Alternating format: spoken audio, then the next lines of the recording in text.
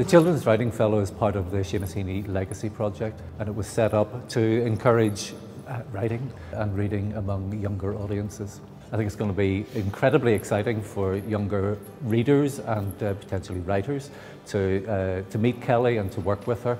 Uh, she was, uh, she's been a great presence already in the time that she's been writing in uh, Belfast and Northern Irish literary circles, especially with younger writers.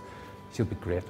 Well, the Heaney Children's Writing Fellow, as the name suggests, came about because both the Arts Council of Northern Ireland and Queen's University Belfast wanted to find a way to mark the legacy of the great Nobel Prize winning poet Heaney from Bellaghy.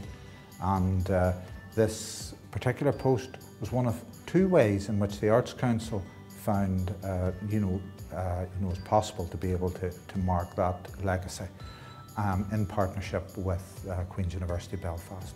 So the past two years as Children's Writing Fellow, um, I've been on the most remarkable journey. The things that stand out for me are events in, in the forest in Slieve Gullion was one, um, with African drumming circles in Bellaghy.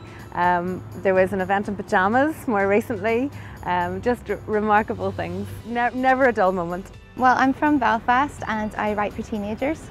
Um, and this is Gerda, who's my very ancient VW camper van.